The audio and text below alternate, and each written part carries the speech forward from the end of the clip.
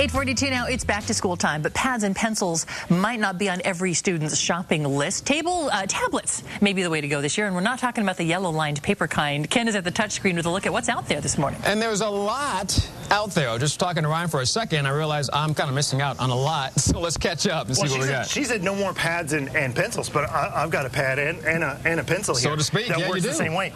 So a, a lot of kids these years, uh, these days, are saying, hey, mom, dad, I need a tablet for school because I don't need a laptop or anything else because I want to play with it. And my first reaction is I'm not spending $600 for you to have a tablet to go to school with, but... Yeah, and, and certain studies have shown that kids actually learn better on a tablet. Wow, okay. Because they don't have the, the keyboard and the mouse to play with. They don't have to, they can literally interact. So I was telling you my three-year-old son, he yeah. can trace letters.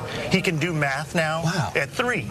So this is, that's pretty fantastic. So yeah, tablet works great for that. But a lot of people are saying for school, do, does my kid need that? And for most kids that are that are going to like high, anyway from uh, elementary all the way through high school, yeah. they don't need a tablet yet.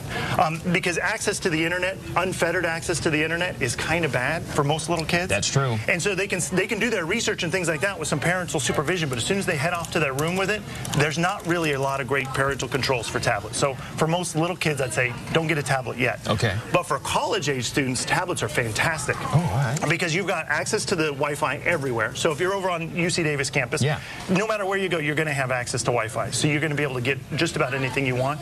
And most most college professors don't have you print things anymore. You're going to email them you just submit right, like okay. So being able to do that, and then you get a little Bluetooth keyboard to attach to this, right. and boom, you're taking notes in class, and it's nice and easy to carry around. So also when you're in college, there's a few apps that'll help you out. So this is one um, where you can take notes with oh, your pen, right? Um, and then you can you can add different photos to your mm -hmm. notes, and this makes it searchable.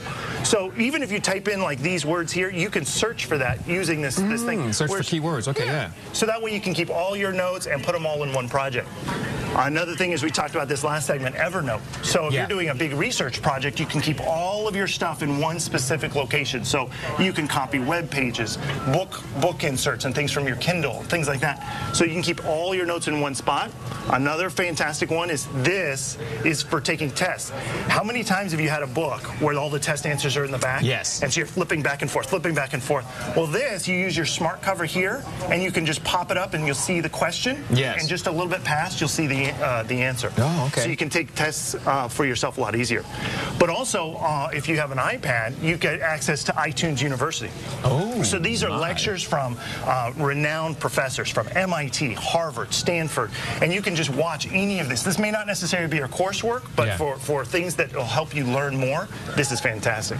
And last but not least, if you've got an iPad or a tablet, you need some kind of ability to create documents and, right. and stuff like that. So this is Pages. Uh, if you've got a, a, a, tablet for like a Kindle Fire yeah. like you, mm -hmm. this is something you can use. It's called Quickoffice Pro. It's basically your words. So you can do Word or, right. or Excel or something like that. They don't make, Office hasn't come out yet for the tablets, although when the Surface comes out, Office will be released From for tablets. Microsoft, yeah, it's yeah. coming out soon. And that'll be perfect. We were talking before, and thank you for saying I don't have to get a child a tablet. Yeah. I just don't understand why I would spend that kind of money for a child to have a tablet. But I understand for college students, maybe even high school students, yeah. have the access to those things. But you're right, you're not able to really uh, to guide that and to understand, you, prohibit where they're going. You give a 13-year-old kid a tablet and send him into his room. Yeah, that's bad. He's not bad doing news. homework. No, that's a you know, point. So he's going to have unfettered access to the internet. Plus, he's going to be able to play games and do whatever. So it's it's certainly fun. But but the family computer in the living room where he everybody can see him doing his homework yeah. and everybody can see what he's doing. That's still the best option for for most kids. I'm going to be the dad that's hiding around there. What you doing in there? Just popping in the door at any moment's notice. What are you doing? That's my dad did all the time. Ryan, always good to see you, brother. Hey, Thank you. Nerds on you. call with always good advice for us, Marianne. All right, and here's the phone number if you'd like to reach them, uh, and their address as well. They're at 4315 Marconi Avenue. Toll free if you're, oops, that's the other one. Toll free if you're out of the 916, it's 800 919 NERD there this morning. Ken will be back, and he'll sit right over here when we come back. 4315 Marconi Avenue in Sacramento.